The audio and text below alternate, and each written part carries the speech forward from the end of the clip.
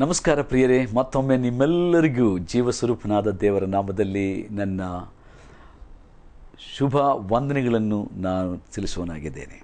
Once again I want to thank you one and all for sparing your time and tuning your T V and watching this programme and I pray that God would touch you totally and set you free as you hear the truth of the living God ಸರ್ವಶಕ್ತನಾದಂಥ ದೇವರ ಈ ಒಂದು ಸತ್ಯಾರ್ಥಗಳನ್ನು ನೀವು ತಿಳಿದುಕೊಂಡು ಆತ್ಮದಲ್ಲಿ, ಪ್ರಾಣದಲ್ಲಿ ಹಾಗೂ ಶರೀರಗಳಲ್ಲಿ ಪರಿಪೂರ್ಣವಾದ ಬಿಡುಗಡೆಯನ್ನು ಅನುಭವಿಸುತ್ತಾ ನೀವು ದೇವರಿಗೋಸ್ಕರ ಜೀವಿಸಬೇಕೆಂಬುದೇ ಈ ಕಾರ್ಯಕ್ರಮದ ಸದುದ್ದೇಶ. ದೇವರು ಹಾಗೆ ಇಂದಿನ ಕಾರ್ಯಕ್ರಮದ ಮೂಲಕವಾಗಿ ನಿಮ್ಮನ್ನು ಆಶೀರ್ವದಿಸಲಿ. ಬನ್ನಿ, ಒಂದು ನಿಮಿಷ. ನಾವು ಕರ್ತನ ನೋಡಿ ಪ್ರಾರ್ಥಿಸುವ.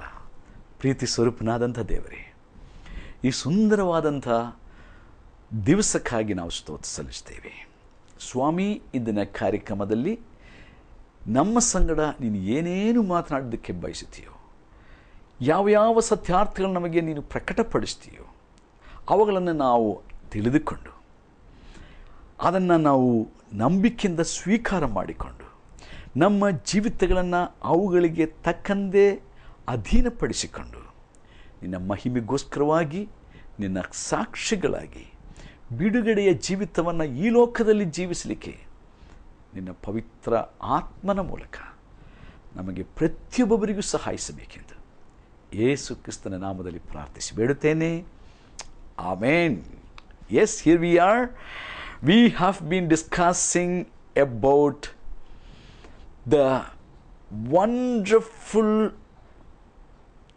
marvelous, and the most powerful weapon that God has given here on this earth so that we can live a victorious Christian life, a faith life.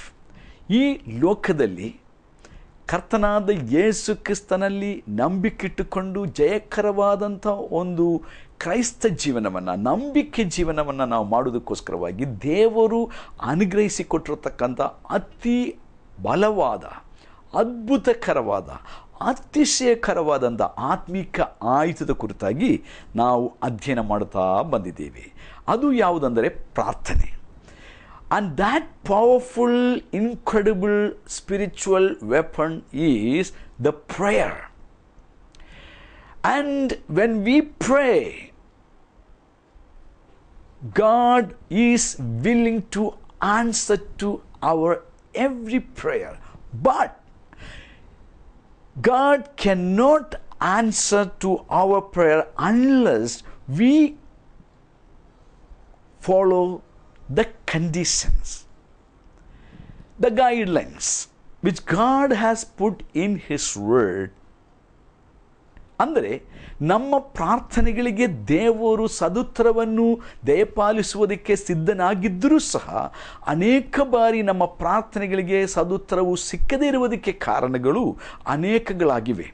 ಅವುಗಳ ಕುರಿತಾಗಿ ಅಥವಾ ಅಡ್ಡಿಪಡಿಸುವಂಥ ಆ ಒಂದು ಸತ್ಯಾರ್ಥಗಳ ಕುರಿತಾಗಿ ನಾನು ವಿವರಿಸ್ತಾ ಬಂದಿದ್ದೇನೆ.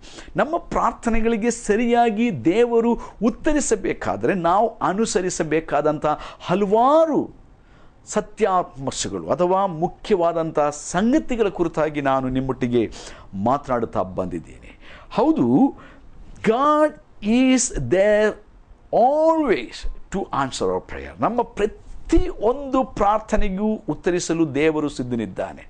ಈ ಕಾರಣದಿಂದಲೇ ದೇವರು ನಮಗೆ ಹೇಳಿರುವುದು, ನಿಮ್ಮ ಪ್ರತಿಯೊಂದು ಅಗತ್ಯತೆಗಳಿಗೋಸ್ಕರವಾಗಿ ನನ್ನ ಹೆಸರಿನಲ್ಲಿ ಪ್ರಾರ್ಥನೆ ಮಾಡಿರಿ. ನನ್ನ ಹೆಸರಿನಲ್ಲಿ ಏನೇನು ನೀವು ಬೇಡಿಕೊಂಡರು? ಯೇಸು ಸ್ವಾಮಿ ಹೇಳಿದ ಮಾತು, ನನ್ನ ಹೆಸರಿನಲ್ಲಿ ನೀವು ಏನೇನು ಬೇಡಿಕೊಂಡರೂ? ನನ್ನ ಪರಲೋಕದ ತಂದೆಯಾಗಿರತಕ್ಕಂಥ, ನಿಮ್ಮ ಸೃಷ್ಟಿಕರ್ತನಾದಂಥ ದೇವರು ನಿಮಗೆ ಅವುಗಳನ್ನು ಅನುಗ್ರಹಿಸಿ ಕೊಡುವನು. ನನ್ನ ಹೆಸರು, ಯೇಸು ಕ್ರಿಸ್ತನ ಹೆಸರಿನಲ್ಲಿ ನಾವು ಪ್ರಾರ್ಥನೆ ಮಾಡಿಕೊಂಡರೆ ಮಾತ್ರ ನಮ್ಮ ಪ್ರಾರ್ಥನೆಗಳಿಗೆ ಉತ್ತರ ಸಿಗಲಿಕ್ಕೆ ಸಾಧ್ಯ. ಯಾಕೆ? ಯೇಸುಕ್ರಿಸ್ತನ ಹೆಸರಲ್ಲಿ ಮಾತ್ರ? ಯಾಕಂತಂದರೆ ಯೇಸುಕ್ರಿಸ್ತನು ಮಾತ್ರಮೇ ಪ, ಸ್ವರ್ಗದ ತಂದೆಯಾದ ದೇವರಿಗೂ, ಭೂಲೋಕದಲ್ಲಿರ್ತಕ್ಕಂಥ ಮನುಷ್ಯರಿಗೂ ಮಧ್ಯವರ್ತಿಯಾಗಿರತಕ್ಕಂಥ ಏಕೈಕ ರಕ್ಷಕನು. The Lord has said if you ask anything in my name the father who is in heaven will surely answer to you but the condition supply but the conditions apply ನನ್ನ ನಿಬಂಧನೆಗಳಿಗೆ ಒಳಪಟ್ಟು ನೀವು ನನ್ನ ಹೆಸರಿನಲ್ಲಿ ಏನೇನು ಬೇಡಿಕೊಂಡರು? ಯಾಕೆ ನನ್ನ ಹೆಸರಿನಲ್ಲಿ? Why it is only in the name of Jesus we have to pray because Jesus Christ is the only mediator between the unseen God and to the human race. He is the only one who died between heaven and earth. He is the only one who came from heaven and died in your place so that God the Father can listen to your cry and answer to you in His time and in His way. ತಂದೆಯಾದಂಥ ದೇವರು, ಸೃಷ್ಟಿಕರ್ತನಾದ ದೇವರು ನಿಮ್ಮ ಪ್ರಾರ್ಥನೆಗಳಿಗೆ ಸದುತ್ರವನ್ನು ಕೊಟ್ಟು ನಿಮ್ಮನ್ನು ಬಚಾವ್ ಮಾಡುವುದಕ್ಕೋಸ್ಕರವಾಗಿ ಯೇಸು ಕ್ರಿಸ್ತನ ಹೆಸರಿನಲ್ಲಿ ಯಾಕೆ ಪ್ರಾರ್ಥಿಸಬೇಕಂದರೆ ಆತನ ಹೆಸರು ಮಾತ್ರವೇ. ಪರಲೋಕದಿಂದ ಈ ಭೂಮಿಗೆ ನರ ಮನುಷ್ಯರ ಬಿಡುಗಡೆಗೋಸ್ಕರವಾಗಿ, ವಿಮೋಚನೆಗೋಸ್ಕರವಾಗಿ, ರಕ್ಷಣೆಗೋಸ್ಕರವಾಗಿ, ಪ್ರಾರ್ಥನೆಯ ಉತ್ತರಕ್ಕೋಸ್ಕರವಾಗಿ ಅಥವಾ ಪ್ರಾರ್ಥನೆ ಮಾಡುವುದಕ್ಕೋಸ್ಕರವಾಗಿ ದೇವರಿಂದ ಅನುಗ್ರಹಿಸಿರುವಂಥ ಹೆಸರು. If any one call upon the name of the Lord he shall be saved ಕರ್ತನ ಯೇಸುವಿನ ಹೆಸರಿನಲ್ಲಿ ಯಾರ್ಯಾರು ದೇವರನ್ನು ಕೂಗಿಕೊಳ್ಳುತ್ತಾರೋ ಅವರಿಗೆ ಬಿಡುಗಡೆ, ಅವರಿಗೆ ವಿಮೋಚನೆ, ಅವರಿಗೆ ರಕ್ಷಣೆ, ಅವರ ಪ್ರಾರ್ಥನೆಗೆ ಉತ್ತರ ಎಂಬುದಾಗಿ ಸತ್ಯವೇದು ನಮಗೆ ಹೇಳುತ್ತದೆ. ಅಷ್ಟೇ ಮಾತ್ರವಲ್ಲದೆ ಆಕಾಶದ ಕೆಳಗೆ ಮನುಷ್ಯರೊಳಗೆ ಕೊಡಲ್ಪಟ್ಟಿರತಕ್ಕಂಥ ಯೇಸು ಕ್ರಿಸ್ತನ ಹೆಸರೇ ಹೊರತು ಬೇರೆ ಯಾವ ಹೆಸರಿನಲ್ಲಿಯೂ ಅಪ್ಪೋಸ್ತರ ಕೃತ್ಯಗಳು ನಾಲ್ಕನೇ ಅಧ್ಯಾಯದಲ್ಲಿ ನಾವು ಈ ವಚನ ಓದ್ತೀವಿ. Acts chapter four there is no name given among man under the earth except the name of Jesus by which we can be saved we can be delivered we can be answer to our prayer not only that his name is above all name ಈ ಭೂಲೋಕದಲ್ಲಿ ಮನುಷ್ಯ ಚರಿತ್ರೆಯಲ್ಲಿ, ಇತಿಹಾಸದಲ್ಲಿ, ಮನುಷ್ಯರಿಗೋಸ್ಕರವಾಗಿ ದೇವರಿಂದ ಕೊಡಲ್ಪಟ್ಟಂಥ ಒಂದೇ ಒಂದು ಹೆಸರು, ವಿಮೋಚನೆಗಾಗಿರುವ ಏಕೈಕ ಹೆಸರು ಅದು ಯೇಸು ಕ್ರಿಸ್ತನ ಹೆಸರಾಗಿದೆ. ಆ ಹೆಸರು ಇತರ ಎಲ್ಲ ಹೆಸರುಗಳಿಗಿಂತ ಉನ್ನತವಾದ ಹೆಸರು. ಫಿಲಿಪ್ಪಿದವರಿಗೆ ಬರೆದ ಪತ್ರ ಎರಡನೇ ಅಧ್ಯಾಯ in Philippians chapter two is says ಸ್ವರ್ಗ, ಮರ್ತ್ಯ, ಪಾತಾಳಗಳಲ್ಲಿರ್ತಕ್ಕಂಥ ಎಲ್ಲ ಹೆಸರುಗಳಿಗೆ ಮೇಲಾದ ಹೆಸರು ಯೇಸು ಕ್ರಿಸ್ತನ ನಾಮ. ಯೇಸು ಕ್ರಿಸ್ತನ ಹೆಸರು. ಅಷ್ಟೇ ಮಾತ್ರವಲ್ಲದೆ ಕರ್ತನಾದ ಯೇಸು ಸ್ವಾಮಿ ತಾನೇ ಮತ್ತಾನ ಸ್ವಾರ್ಥ ಇಪ್ಪತ್ತನೇ ಅಧ್ಯಾಯದಲ್ಲಿ ಹೇಳಿದ್ದಾನೆ. Matthew chapter twenty eight all authority is given to me ಮನುಷ್ಯರ ಪಾಪಗಳ ಪರಿಹಾರಕ್ಕೋಸ್ಕರವಾಗಿ ಶಿಲುಬೆಯಲ್ಲಿ ಪ್ರಾಣದಾನ ಮಾಡಿ ಮೂರು ದಿನಗಳು ಸಮಾಧಿಯೊಳಗಡೆ ಇದ್ದು ನಾಲ್ಕನೇ ದಿವಸದಲ್ಲಿ, ಅಂದರೆ ಮೂರು ದಿನಗಳು ಪೂರ್ತಿಯಾದ ನಂತರ ಸಮಾಧಿಯೊಳಗಿಂದ ಎದ್ದು ಜಯವೀರನಾಗಿ ಸ್ವರ್ಗ ಲೋಕಕ್ಕೆ ಏರಿ ಹೋದಂಥ ಯೇಸು ಸ್ವಾಮಿ, ಅಲ್ಲಿಗೆ ಸ್ವರ್ಗಾರೋಹಣ ಅಥವಾ ಸ್ವರ್ಗಕ್ಕೆ ಎತ್ತಲ್ಪಡುವುದಕ್ಕೆ ಮುಂಚೆ ಹೇಳಿದಂಥ ಮಾತು ಮತ್ತಾನ ಸ್ವಾರ್ಥ ಇಪ್ಪತ್ತೊಂದನೇ ಅಧ್ಯಾಯದ ಕಡೆಯ ಭಾಗಗಳಲ್ಲಿ ಬರೆದದೆ ಎಲ್ಲ ನಾಮಗಳಲ್ಲಿಯೂ ಮಿಗಿಲಾದ ನಾಮವು ನನ್ನ ನಾಮವು. ಎಲ್ಲ ಅಧಿಕಾರಗಳಿಗಿಂತ ಮಿಗಿಲಾದ ಅಧಿಕಾರವು ನನಗೆ ಕೊಡಲ್ಪಟ್ಟದೆ. ಸ್ವರ್ಗದಲ್ಲಿಯೂ, ಭೂಲೋಕದಲ್ಲಿಯೂ, ಪಾತಾಳದಲ್ಲಿಯೂ ಎಲ್ಲ ಅಧಿಕಾರವು ನನ್ನ ಕೈಗೆ ಸೃಷ್ಟಿಕರ್ತನಾದ ದೇವರು ಕೊಟ್ಟಿದ್ದಾನೆ. ಆದ ಕಾರಣ ನನ್ನ ಹೆಸರಿನಲ್ಲಿ ನೀವು ಏನು ಬೇಕಾದರೂ ನನ್ನ ವಾಕ್ಯದ ಷರತ್ತಿಗೆ ಒಳಪಟ್ಟುಕೊಂಡು ಕೇಳುವುದಾದರೆ, ನಂಬಿಕೆಯಿಂದ ಕೇಳಿಕೊಳ್ಳುವುದಾದರೆ, ನಿಮಗೆ ನಾನು ಈಡೇರಿಸುವನೆಂಬುವಂಥದ್ದು ಕರ್ತನಾದ ಯೇಸು ಕ್ರಿಸ್ತನ ಬಿದ್ದು ಹೋಗದ ವಾಗ್ದಾನವಾಗಿದೆ.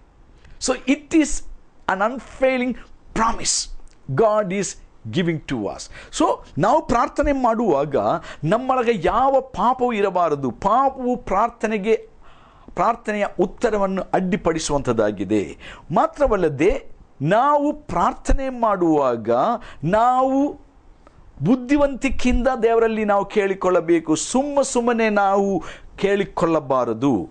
ಇದು ಎರಡನೇದಾಗಿ. ಪ್ರಾರ್ಥನೆ ಮಾಡುವಾಗ ನಾವು ಒಬ್ಬರನ್ನೊಬ್ಬರು ಪಾಪಗಳನ್ನು ಒಪ್ಪಿಕೊಂಡು ಅರಿಕೆ ಮಾಡಿಕೊಂಡು ದೇವರಲ್ಲಿ ಪ್ರಾರ್ಥನೆ ಮಾಡಬೇಕು. ನಾವರ ನಾವು ಪ್ರಾರ್ಥನೆ ಮಾಡುವಾಗ ದೇವರಲ್ಲಿ ಇದ್ದಂಥ ನಂಬಿಕೆಯುಳ್ಳವರಾಗಿದ್ದುಕೊಂಡು ನಾವು ಪ್ರಾರ್ಥನೆ ಮಾಡಬೇಕು. ನಾವು ಪ್ರಾರ್ಥನೆ ಮಾಡುವಾಗ ದೇವರ ನಂಬಿಕೆಯೇ ನಮ್ಮೊಳಗಿರಬೇಕು ಎಂಬುದಾಗಿ ಕೂಡ ನಾನು ಹೇಳಿದೆ. ಹೀಗೆ ನಾವು ಪ್ರಾರ್ಥನೆ ಮಾಡುವ ಕೆಲವೊಂದು ಅಥವಾ ಹಲವಾರು ಕಂಡೀಷನ್ಸ್ ಷರತ್ತುಗಳಿವೆ. ಆ ಷರತ್ತುಗಳಿಗೆ ಒಳಪಟ್ಟವರಾಗಿದ್ದುಕೊಂಡು ನಾವು ಪ್ರಾರ್ಥನೆ ಮಾಡುವಾಗ ದೇವರು ನಮ್ಮ ಪ್ರಾರ್ಥನೆಯನ್ನು ಕೇಳುತ್ತಾನೆ. ದೇವರು ನನ್ನ ಎಲ್ಲ ಪ್ರಾರ್ಥನೆಗಳಿಗೂ ಉತ್ತರ ಕೊಟ್ಟಿದ್ದಾನೆ ತನ್ನ ವಾಗ್ದಾನದ ಮೇರೆಗೆ. ತನ್ನ ವಚನಕ್ಕೆ ಅನುಗುಣವಾಗಿ, ತನ್ನ ಸಮಯದಲ್ಲಿ, ತನ್ನ ಚಿತ್ತಾನುಸಾರವಾಗಿ ಎಂಬುದಾಗಿ ನಾವು ನಂಬಬೇಕು. ಪ್ರಾರ್ಥಿಸಿದ ನಂತರ ನಮ್ಮಲ್ಲಿ ಸಂಶಯ ಇರಬಾರದು. ಪ್ರಾರ್ಥನೆ ಮಾಡಿದ ನಂತರ ನಮ್ಮಲ್ಲಿ ಯಾವ ಥರವಾದ ಅಪನಂಬಿಕೆ ಇರಬಾರದು. We should not have any doubt about what we pray for we must believe We must trust that God has already done. ನಾವು ಬೇಡಿದ್ದನ್ನು ದೇವರು ಆಗಲೇ ನಮಗೆ ಅನುಗ್ರಹಿಸಿ ಕೊಟ್ಟಿದ್ದಾನೆ ಎಂಬ ದೃಢವಾದ ನಂಬಿಕೆ ಪ್ರಾರ್ಥನೆಯಲ್ಲಿ ಬಹಳ ಅವಶ್ಯ ನೋಡಿ, ದೇವರ ವಾಕ್ಯದಲ್ಲಿ ಹಳೆಯ ಒಡಂಬಡಿಕೆಯಲ್ಲಿ ಒಂದು ಸಾಮುವೇಲ್ ಪುಸ್ತಕ ಒಂದನೇ ಅಧ್ಯಾಯ ಹದಿನೆಂಟನೇ ವಚನದಲ್ಲಿ in first Samuel chapter one and in verse eighteen we read about Hannah she pray to God and with full confidence and trust in the living God she prayed for a male child ಅವಳು ಅನೇಕ ವರ್ಷಗಳು ಎಷ್ಟು ವರ್ಷ ಪ್ರಾರ್ಥನೆ ಮಾಡಿದರೂ ನಮಗೆ ಗೊತ್ತಿಲ್ಲ. ಆದರೆ ನಾವು ಆ ಒಂದು ವಾಕ್ಯ ಭಾಗದಲ್ಲಿ ಸತ್ಯವೇದ ಆ ಒಂದು ವಚನ ಭಾಗವನ್ನು ಓದುವಾಗ ಅವಳು ಪ್ರತಿ ವರ್ಷ ಗಂಡನ ಜೊತೆಯಾಗಿ ಬಂದು ದೇವಾಲಯದಲ್ಲಿ ದೇವರನ್ನು ಪ್ರಾರ್ಥಿಸ್ತಾ ಇದ್ದಳು. ಸ್ವಾಮಿ, ನನಗೆ ಒಂದು ಗಂಡು ಮಗುವನ್ನು ಕೊಡಿ.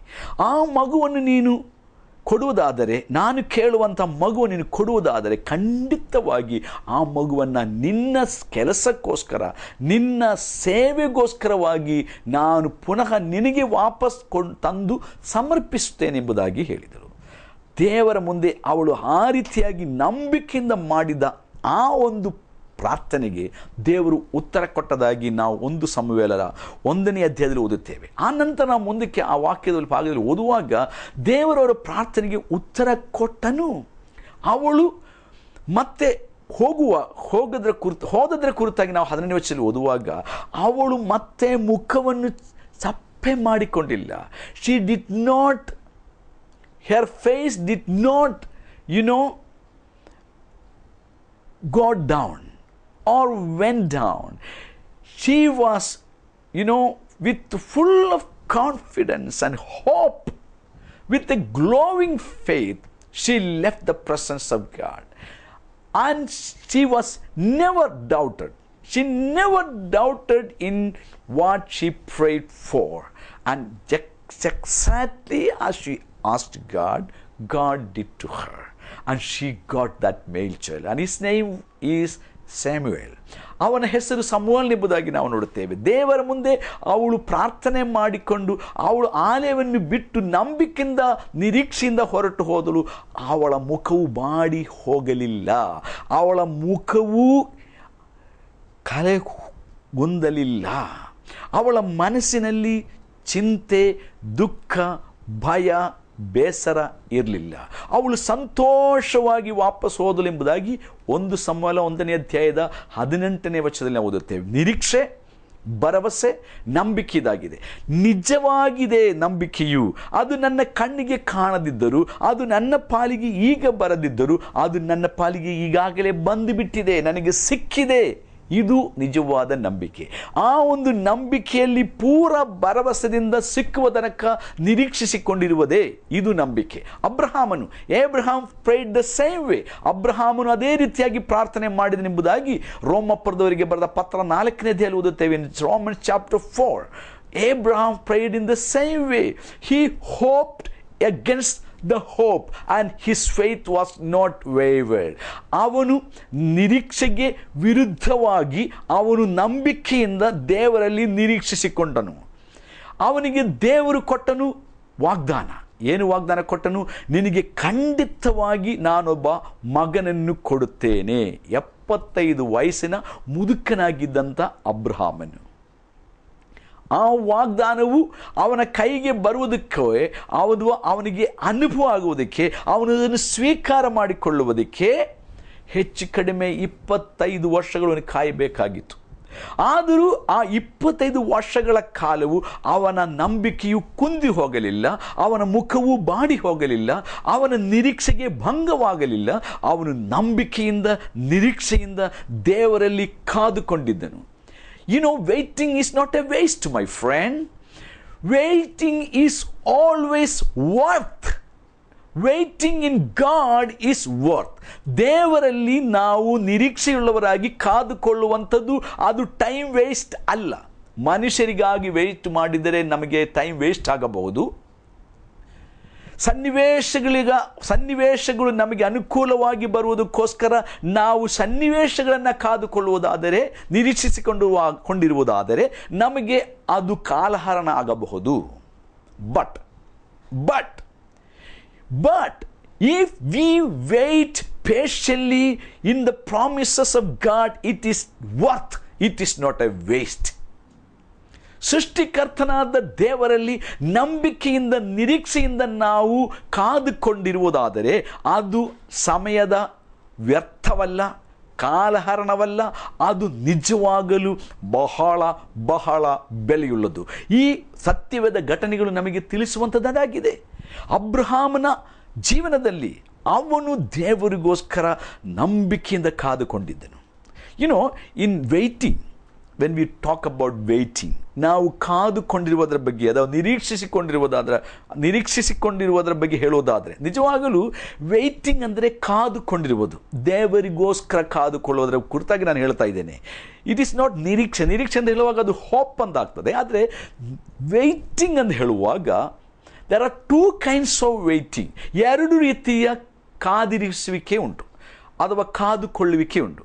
ಒಂದನೇದು ಯಾವುದಂದರೆ ನಾವು ಬಂದರೆ ಬರಲಿ, ಸಿಕ್ಕಿದರೆ ಸಿಕ್ಕಲಿ ಎಂಬುವಂಥ ಒಂದು ಪಾಸಿವ್ ವೆಯ್ಟಿಂಗ್ ಅಂತ ಹೇಳ್ಬೋದು.